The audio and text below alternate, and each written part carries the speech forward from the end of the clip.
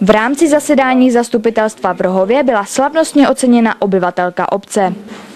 Je mi ctí ti pogratulovat Slečna Jana Hanslíková pravidelně chodí na odběry krve a tímto nesobeckým činem pomáhá mnoha lidem.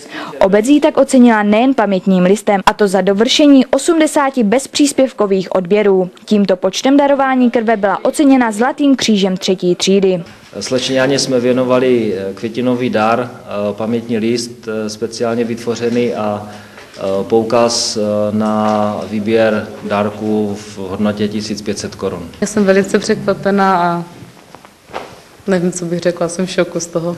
Tento čin může být krásným příkladem pro nás všechny. Mít v obci tak významného darce krve, to je ojedinělá událost a já věřím, že, že se i k Janě Hanclíkové přidají další občané, že to bude taková podpora pro eh, další eh, naše občany, a kteří půjdou v jejich řadách, ale v každém případě jí děkujeme za to, že eh, je takový zdarný, eh, zdarný dárce krve. Takže ti přeju, aby si, pokud budeš chtít, dosáhla i toho dalšího významného odběru 120. Z Rohova Markéta Janíková.